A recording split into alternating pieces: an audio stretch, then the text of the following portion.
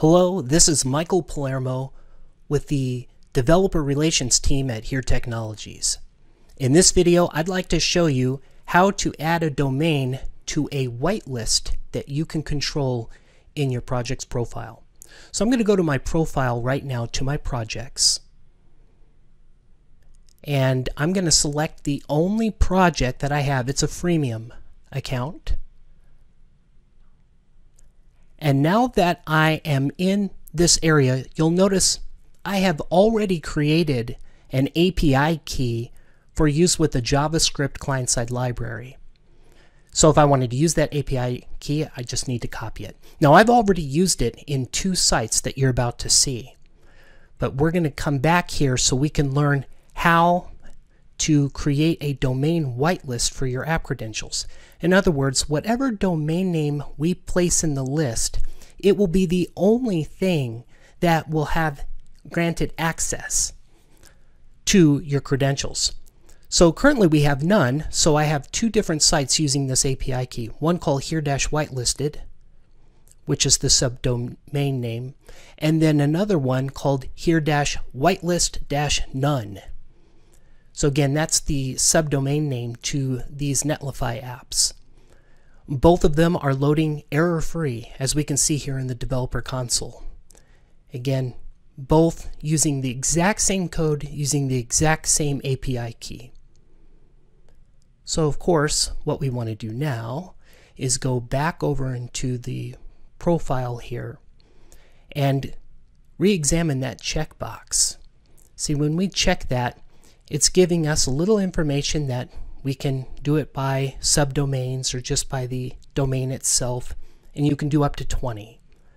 So what I want to do is add just one of those sites, the one that would be the uh, the whitelisted one, the here whitelisted one. So I'm going to copy that domain right now, and I'm going to bring it back over into my project and paste it in here. Now I need to get rid of the HTTPS moniker at the beginning and also remove the forward slash at the very end. So all that's there is this subdomain plus the domain name. Now with that stated, it is the only thing that is allowed to use my credentials at this time. If I wanted to, I could add more and I would just do that in the next box. Again, up to 20 of these per your account. But in this example, only one site is going to have access to my credentials. So I'm going to save this. Now, of course, what we might wonder, once it's saved, what's going to happen when we go and review the content again? So the one we just added to the whitelist, when we refresh it, we see our content. So what do we suppose will happen when we refresh the other one? Well, if you do it right away, you're probably going to get the same thing. So you're, you're going to need to wait about an hour for everything to sync up. But once that has happened, you'll then notice that the next time you refresh, it's going to look something like this. So I did wait about an hour to come back and you can see there is no content. And of course, we'll check what it would look like with the whitelisted one, but notice all the errors over here.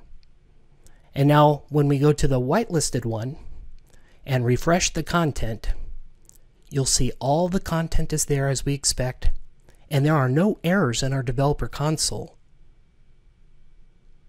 When we examine or refresh the other one, which was not even listed, we're going to get errors and not the content that we expect. So, what do we gain from this?